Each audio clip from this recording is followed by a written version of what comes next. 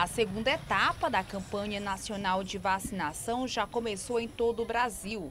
De acordo com a Coordenação de Vigilância Epidemiológica de Caxias, o objetivo desta etapa é imunizar jovens e adultos entre 20 e 29 anos. Agora é a vez de quem não vacinou, né? Quando começou a campanha, a gente viu que muita gente procurou as unidades, muitos adultos né, querendo se vacinar. Então, gente, chegou o momento.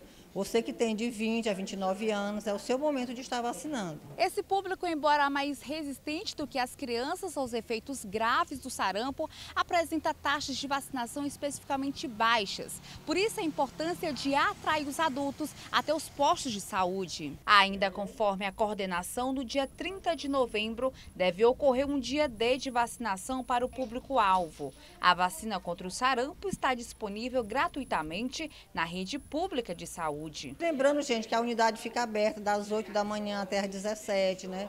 A vacina está disponível em todas as unidades. E também a gente sempre cria estratégias para aqueles que não têm esse tempo disponível no horário comercial. Por exemplo, domingo, dia 24, nós vamos estar vacinando na feirinha da gente, né, ali.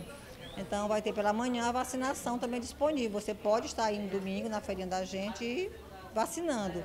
Fora isso, dia 30 vai ter o dia D, que é um sábado também, o dia todo, né? A unidade ficou aberta de 8 da manhã até as 17 horas. Eu peço que o povo procure o posto de saúde para tomar, porque tá muito o povo não estão procurando da, na faixa etária da idade, para o povo vir tomar a vacina do sarampo.